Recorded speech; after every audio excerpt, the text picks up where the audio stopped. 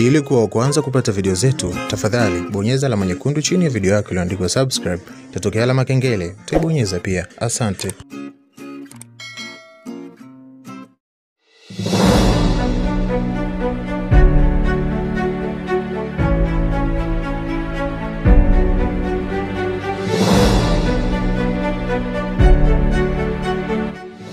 Uhali gani mwana Zaro Media, karibu kwa mara nyingine tena katika chaneli yako pendwa ambayo inakupa taarifa lakini pia inakupa burudani na kuweza kukuelimisha zaidi. Leo tuna tukio eh, lililoweza kutokea Septemba mwaka 2011 linalomhusu huyu kinda wa mpira beki kisiki kutokea taifa la Kongo, taifa la mpira Chancey Mbemba.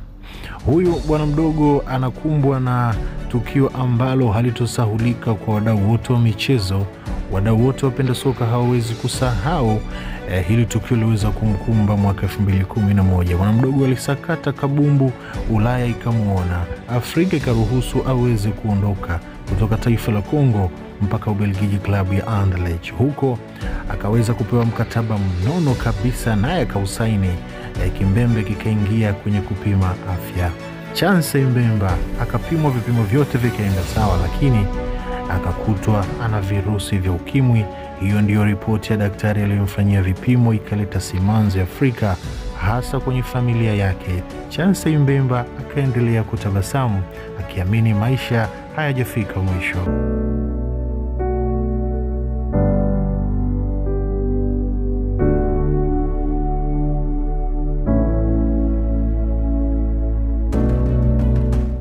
Wahenga walishasema mwanamke ana nguvu kubwa ya ajabu kama utaamua kumpa nafasi na kumsikiliza. Sofia Mbemba, mke halali kabisa wa Chancey Mbemba, ndiye alikuwa kiumbe wa kwanza kuweza kupinga majibu ya vipimo hivyo, licha ya kuwa Ulaya inasifika kwa hospitali hodari na magwiji waliobobea kabisa katika fani ya udaktari. Sofia aliweza kuitikisa Afrika kwa kuweza kutoka hadharani na kusema ya kuwa anamwamini sana mume wake, uaminifu wake anauamini, hivyo haamini kabisa kama ana maambukizi ya virusi vya ukimwi. Hivyo anatoa ushauri waweze kupima na kurudia tena.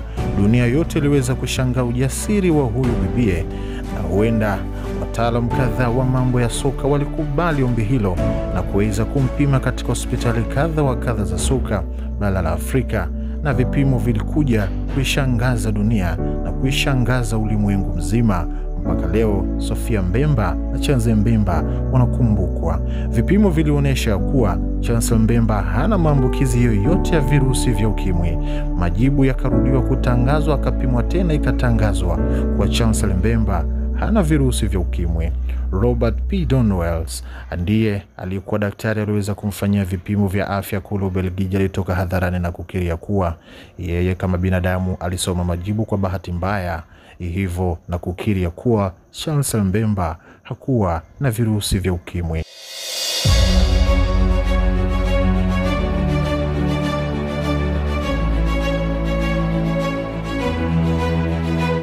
Upande wake Chancel Mbemba, baada ya taarifa hiyo kuweza kuthibitishwa pia na klabu ya Anderlecht kuwa hana virusi vya ukimwi, waliweza kumwomba radhi, lakini naye kwa hekima kubwa aliweza kuwajibu waandishi wa habari ya kuwa kila binadamu ana uwezo wa kufanya makosa, hivyo watu wasimhukumu daktari kwa kuweza kukosea. Yeye anamshukuru Mungu kwa nafasi waliopewa na Anderlecht ya kuweza kuitumikia klabu hiyo kwa miaka miwili, wakaweza kumwofa na mkataba wa mwaka mmoja kama nyongeza ya kumwomba radhi kwa vipimo walivyokosea na kumletea kashfa mbaya iliweza kumwathiri kisaikolojia yeye pamoja na familia yake. chasel Mbemba alisema haya.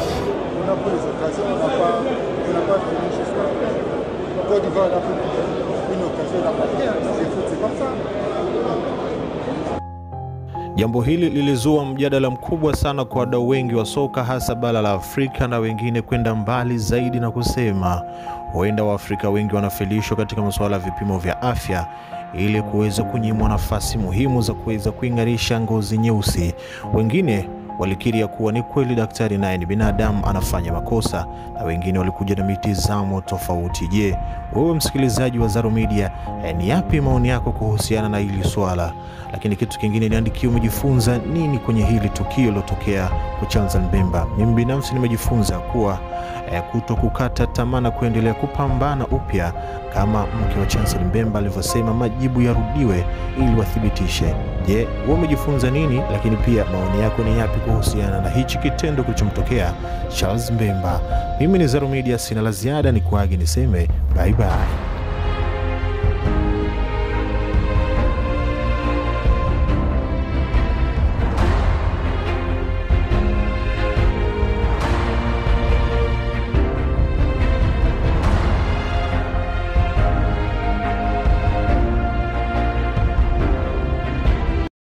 Ili kuwa wa kwanza kupata video zetu, tafadhali bonyeza alama nyekundu chini ya video yako iliyoandikwa subscribe.